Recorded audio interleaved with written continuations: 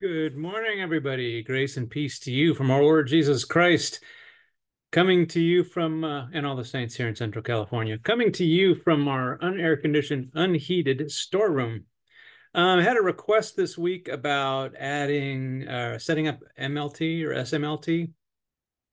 Um, it's remarkably easy, um, at least in my case. I don't know how it's going to be in your case, but um, so to set up an MLT, SMLT, you got to set up an MLT first. So for an MLT, you go into config mode, you just use the keyword MLT, give it a number. Um, I like to name them as well. So MLT63 is, uh, I'm going to name it for the name of the switch that I'm sending it to, 63. And if I'm sending an MLT to like switch 124, I'll call it MLT 124. So you create the MLT, then you go into the uh, MLT interface. Um, you assign it an LACP key to make things super simple for my pea-sized brain. I use the same number. And then you enable it.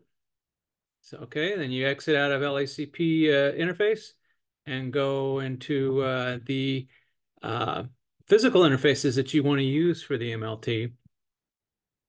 Um, in my case, I, I want to send all many different VLANs over there. So I turn on uh, VLAN encapsulation, dot one Q. And then in the ports, you tell it what the LACP key is that you want it to use. We're going to use the LACP key we just set up. We're going to set up, uh, we're going to tell it to aggregate the two ports together. And then we're going to enable it. And then basically I turn off a spanning tree on those two ports because I don't want it to see it as a duplicate path. Um, and then you do a no shut on the interfaces. Now, what about what about SMLT? Well, that's the same thing, except you just do the same set of commands on another switch, the partner switch you're going to use, and uh, then when you're in the MLT interface, you just use the uh, the the keyword SMLT, and then that'll span it across both the switches over the fabric. Setting up the fabric is a whole other, another animal.